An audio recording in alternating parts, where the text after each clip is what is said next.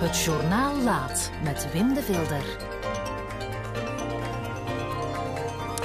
Een goeie avond. In de vaccinsaga komt er nu eens goed nieuws dan weer slecht. En vandaag beide. Het Europese Geneesmiddelenagentschap heeft het vaccin van Johnson Johnson goedgekeurd. Het vierde coronavaccin bij ons. En dat is goed nieuws.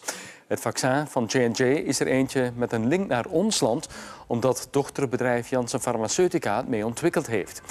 Er is maar één dosis van nodig om beschermd te zijn, geen twee. En bovendien kan het gewoon in de koelkast bewaard worden. Ons land heeft 5 miljoen doses besteld. Dat zijn er dus wel wat. En volgende maand verwachten we normaal de eerste leveringen.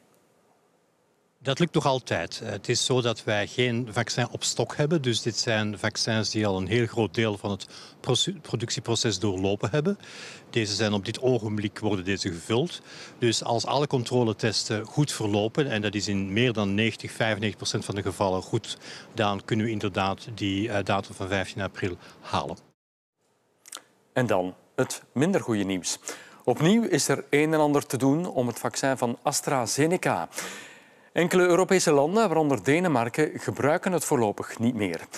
De reden daarvoor zijn meldingen van bloedklonters bij mensen die gevaccineerd werden met dit vaccin. Er is nogthans geen bewijs dat er een verband is tussen de vaccinatie en de bloedklonters. Maar Denemarken wil blijkbaar het zeker voor het onzekere nemen. Het Europese Geneesmiddelenagentschap gaat daar absoluut niet in mee. En daarom blijft ook ons land AstraZeneca voorlopig gebruiken.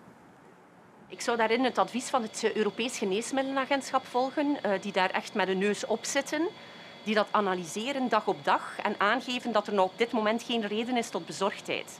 Ik denk het feit dat elk land daarin een andere uh, aanpak neemt, op zich niet, niet, niet ten gunste is van, van, van het vertrouwen en, en het verloop van deze campagne.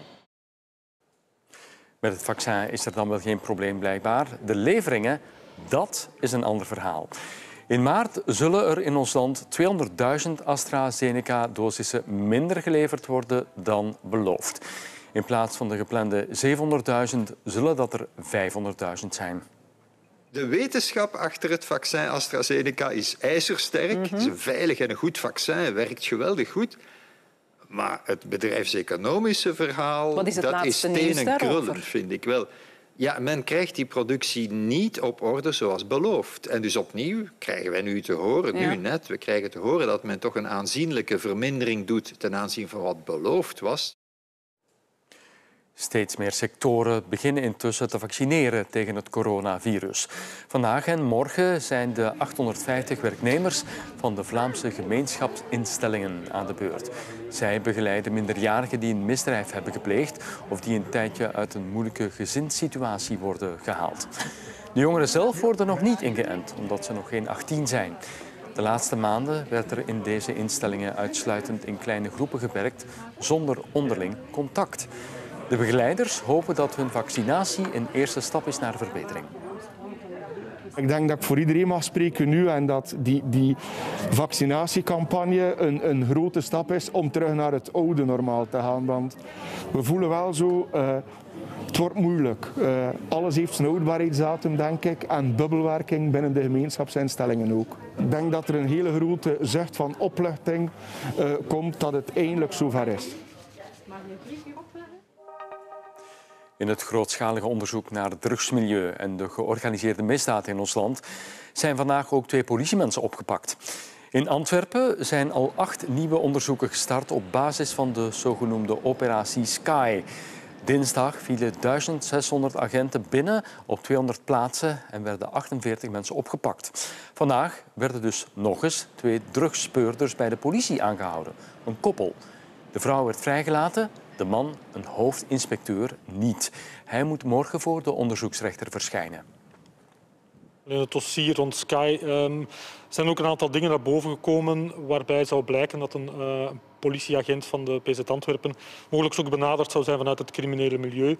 Dus in dat kader is er een apart gerechtelijk onderzoek gestart. Wat is precies de aantijging? Wel, er wordt natuurlijk nu verder onderzocht, maar het zou mogelijk um, gaan over het, het, uitwisselen van gegevens of het opzoeken van gegevens uit databanken en die al dan niet tegen betaling um, verder leveren aan het crimineel milieu. Um, dat zijn zware aantijgingen die natuurlijk nu absoluut verder moeten onderzocht worden.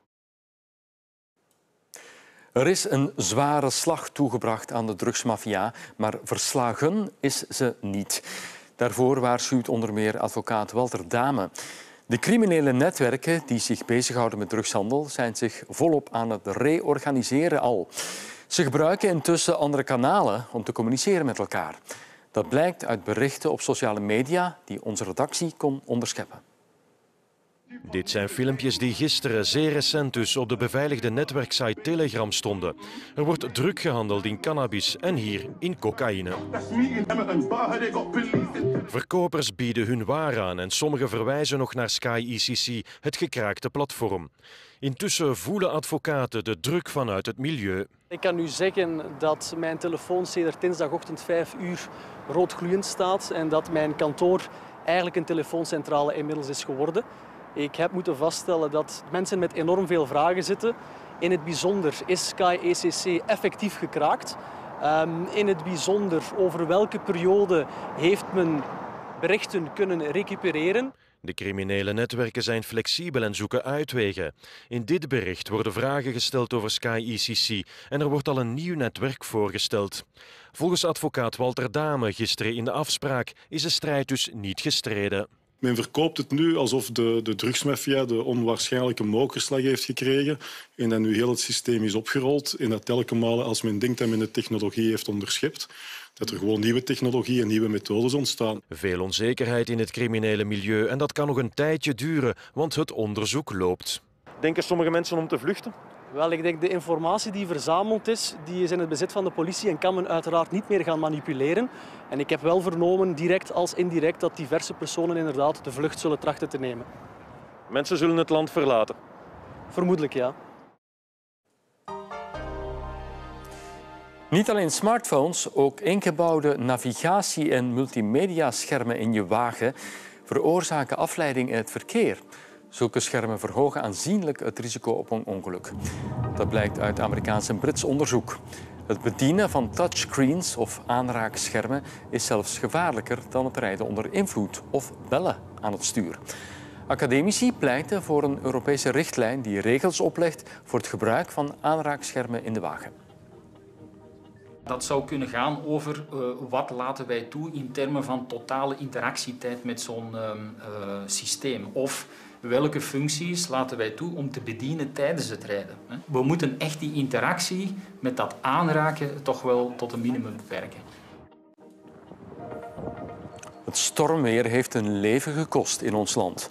In Aalter kwam een boom op een wandelend koppel terecht. De man kwam daarbij om het leven, zijn vrouw verkeert in levensgevaar.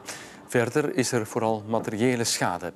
In een middelbare school in Roeselare is het dak van een van de gebouwen naar beneden gekomen. In Aartselaar kwam een boom op een restaurant terecht. En in Antwerpen is het vaccinatiecentrum Spoor Oost, een groot tentendorp, ontruimd. Zo'n 500 zorgverleners en 65-plussers zijn met panelbussen naar een andere plek gebracht waar ze toch nog hun coronaprik hebben kunnen krijgen. Buitenlands nieuws. Op de internationale, of de internationale druk op de regering van Ethiopië om een einde te maken aan de oorlog in de regio Tigray wordt steeds groter. Het Ethiopische leger voert daar sinds november al een oorlog tegen de regionale machthebbers. Maar de humanitaire crisis wordt er al maar groter en er dreigt een hongersnood. Na vier maanden oorlog staat de Tigray-regio aan de rand van de hongersnood. Toch blijft een groot deel van de bevolking onbereikbaar voor noodhulp. We are suspecting that those humanitarian needs they are much higher than what we are seeing in the major towns and that the food supplies there are dangerously low. Bovenop de humanitaire crisis zijn er steeds meer bewijzen van oorlogsmisdaden, gepleegd door alle betrokken partijen. De Amerikaanse buitenlandminister spreekt zelfs over etnische zuivering. Acts of ethnic cleansing, which we've seen in Western Tigray, uh, that has to stop. De roep aan de Ethiopische regering om de oorlog te stoppen klinkt steeds luider. Maar een deel van de Ethiopiërs in ons land kwam vandaag wel hun regering steunen. Volgens hen is de oorlog enkel gericht tegen de leiders van Tigray, het TPLF. Die regeerden vroeger het hele land en hebben toen vele Ethiopiërs onderdrukt. How come the TPLF leaders couldn't surrender? They can surrender.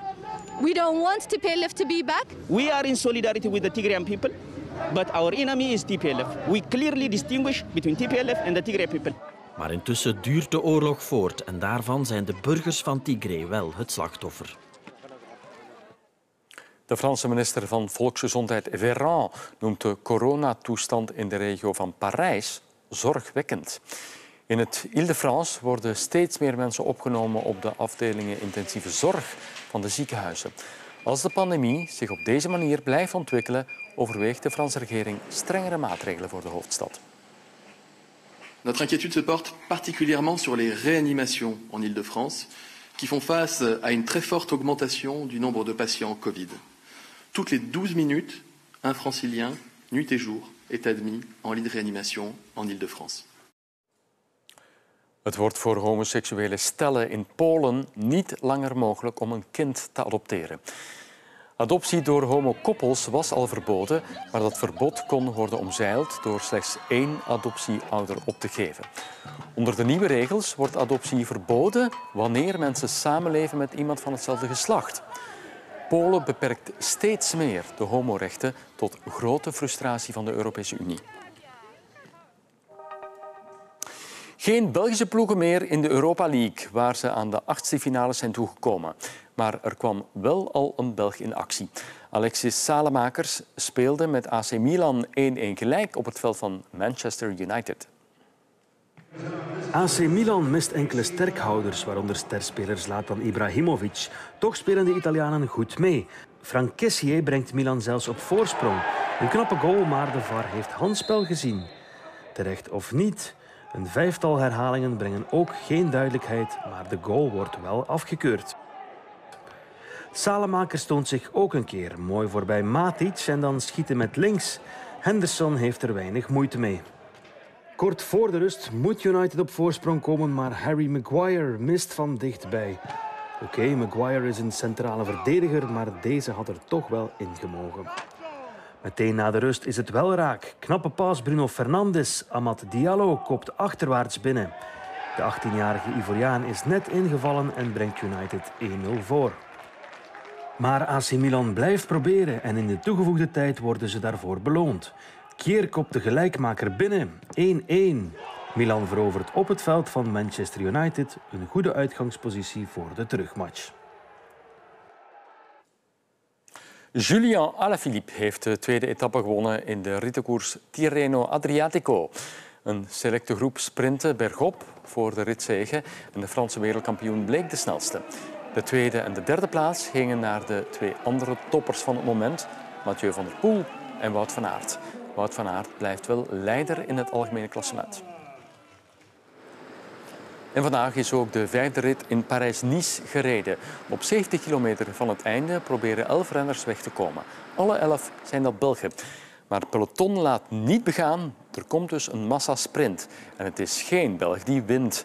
De Ier Sam Bennett rond het voorbereidingswerk van zijn ploegmaats mooi af. Het is zijn tweede ritzege in deze Parijs-Nice. Het zijn als het ware onze kindjes, van, de kindjes van, van, van zij die gepassioneerd zijn door uh, het Napoleontisch verleden. Omdat die bomen ja, die waren de getuigen van wat er hier gebeurd was. Het lijkt onwaarschijnlijk, maar vandaag heeft een van de laatste getuigen van de slag bij Waterloo het loodje gelegd. De slag bij Waterloo vond plaats in 1815. Het leger van de Franse generaal Napoleon werd verslagen door geallieerde legers van Engelse, Nederlanders, Duitsers en Pruisen. Belgen bestonden toen nog niet. Drie kastanjebomen maakten het allemaal mee. En een van die bomen kreeg zijn genadeslag door de storm van vandaag. Afgelopen nacht tegen een uur of vijf is uh, onze geliefde boom neergegaan. Uh, een van de drie uh, getuigen van de slag bij Waterloo, de Les Sentinelles de, de Champ Bataille, zoals we ze noemen, de wachters van het slagveld.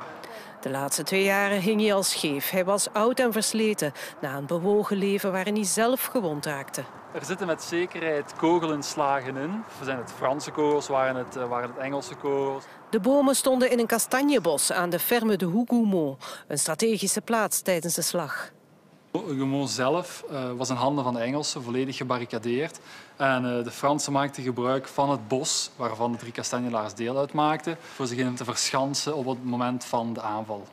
Er was snel crisisoverleg. Delen van de boom zijn meteen weggebracht om te vermijden dat souvenirjagers ze meenemen. De stam zelf wordt onderzocht.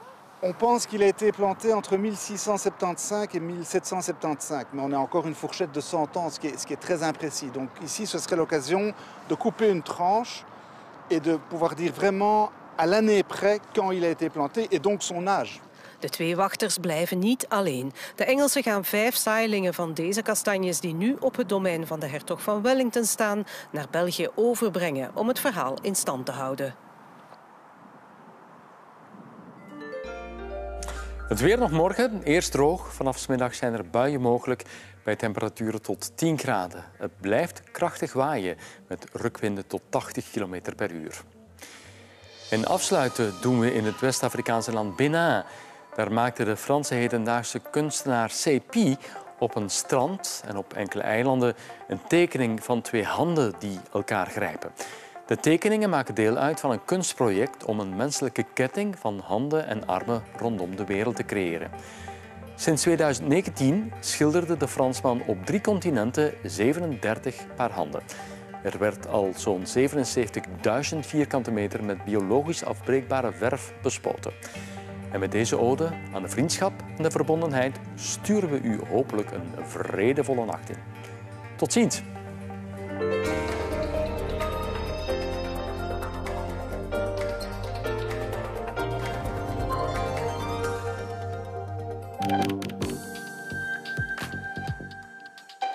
Stel nu zelf je persoonlijke nieuwsoverzicht samen met Mijn Nieuws in de gratis VRT Nieuws-app.